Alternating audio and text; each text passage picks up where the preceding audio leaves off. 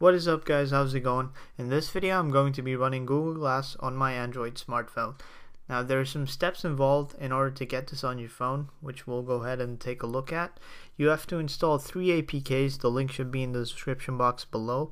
First is the Home APK followed by the camera and the maps. Now the camera and maps don't necessarily work, it didn't work for me, but the Home is definitely going to work.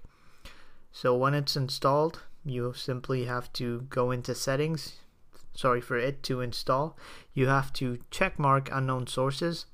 It should be in your security if you're running Android 4.2 if you're in a, on a version before that it's probably going to be somewhere in developer options.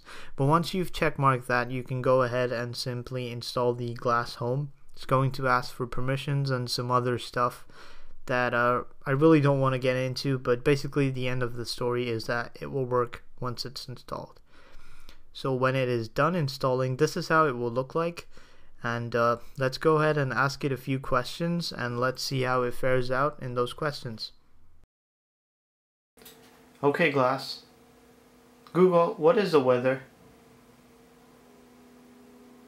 It's 71 degrees and clear in Toronto. Okay, Glass. Google, what is Wikipedia? Wikipedia is a free, web-based, collaborative, multilingual encyclopedia project supported by the nonprofit Wikimedia Foundation. It's Okay, Glass. Get directions to McDonald's.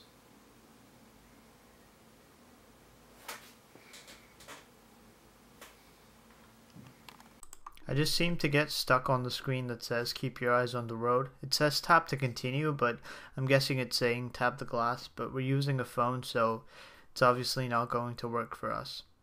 As far as taking a picture is concerned, it just opens up a blank screen and takes a picture of it. It doesn't really do anything useful or open the camera. And for recording a video, the app just crashes, and that's just it for the video. So in terms of sending a text, making a call, or hanging out with someone, it just says no contacts found as I guess it's not able to pull up all my contacts from my Google account. Anyways guys, that's pretty much it. If you liked the video, please do give it a thumbs up and do subscribe for more to stay tuned to more of my stuff. Leave a comment or follow me on Twitter or Google Plus and I'll see you guys in the next one. Take care, bye bye.